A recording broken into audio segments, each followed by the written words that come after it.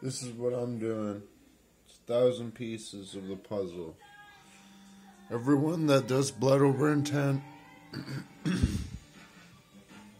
is a piece of the puzzle.